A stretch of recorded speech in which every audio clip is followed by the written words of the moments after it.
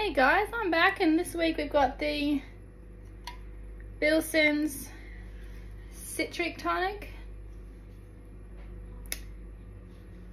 It's a, where does it say, 5.3% can. I'm gonna give this a taste. I've noticed that like half their cans have like blue tops and half don't.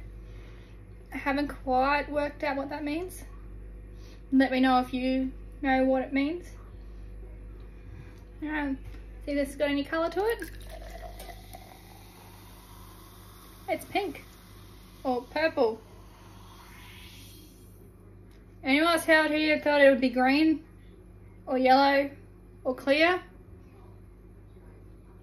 This is a little worrying. This should actually fit the rest of this can in. Perfect. It smells nice. I'm a little, a little worried that it's not clear or green or yellow. Because it's supposed to be a citrus gin and tonic. But here we go.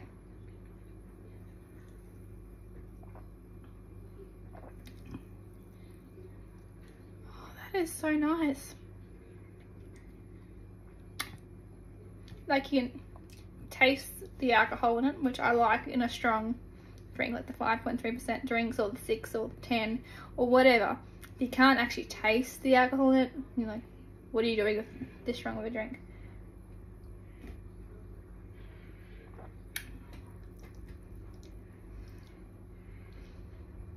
It's really refreshing.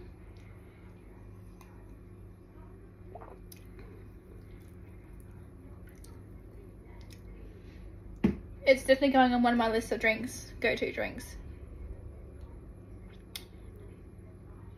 Artesian Distillery Small Batch Alfred's Particular Gin and Citrus, citrus Tonic. Definitely a hit, not a miss.